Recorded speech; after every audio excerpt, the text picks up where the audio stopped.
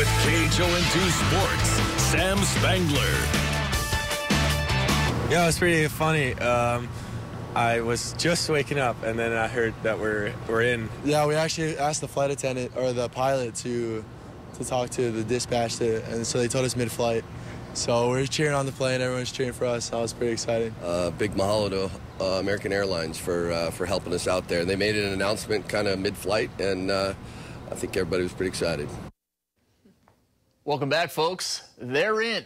39,000 feet above the Pacific Ocean, the University of Hawaii men's volleyball team learned today they have a return flight to the continent. The Rainbow Warriors were selected as an at-large team to the NCAA tournament early this morning, drawing Penn State in the tourney's play-in game.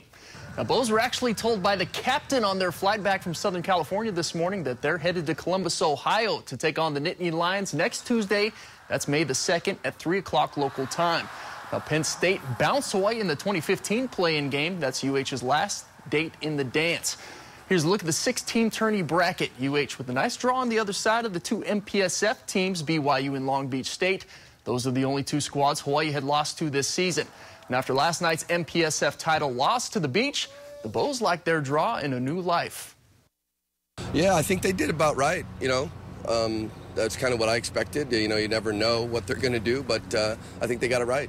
Um, well, you, you can't look too much uh, too far far ahead, but uh, to see Ohio State number one seed, uh, next uh, one game away, uh, just in the bus, everyone is talking like, oh, like we want to play them at their place. That is.